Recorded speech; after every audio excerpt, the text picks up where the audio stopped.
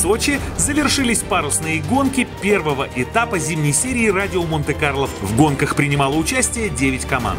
Это были как опытные экипажи, проявившие себя в национальной парусной лиге, так и новички, которые планируют отобраться в Лигу образца 2017 года. День начался со слабого трех-четырехузлового ветра. Был дан старт, но к верхнему знаку ветер исчез, и судейская бригада отменила гонку.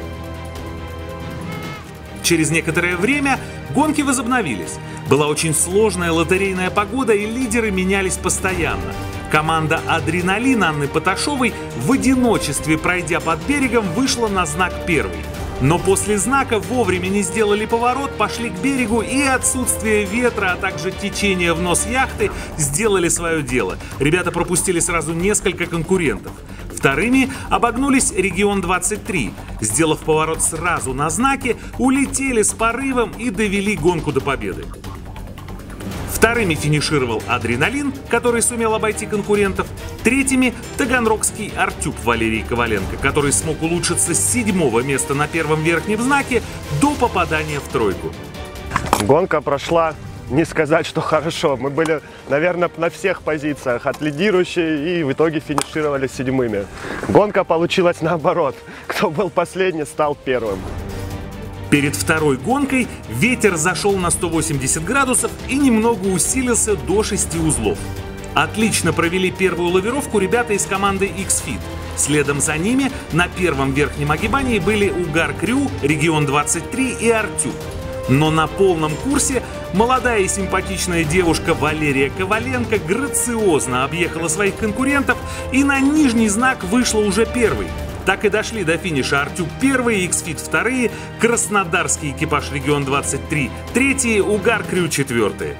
Потому что угар это удовольствие на грани фола. Великолепно, нам очень все нравится. Соперники очень сильно от этого получаем еще больше удовольствия. К заключительной третьей гонке дня на сочинской акватории раздуло до 7 узлов, но эта гонка внесла мало изменений в борьбу за призовые места.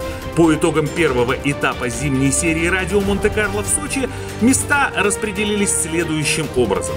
Победу одержал экипаж «Артюб» Москва-Таганрог, Вторые – краснодарцы «Регион 23», третье место у Fox Sailing Team из Красноярского края. Сегодня была достаточно тяжелая погода, особенно в э, первой гонке. Это почти штиль. И очень было сложно угадывать э, малейшие направления ветра. Ну, вторые, вторая и третья гонка прошли более динамично и более весело для нас.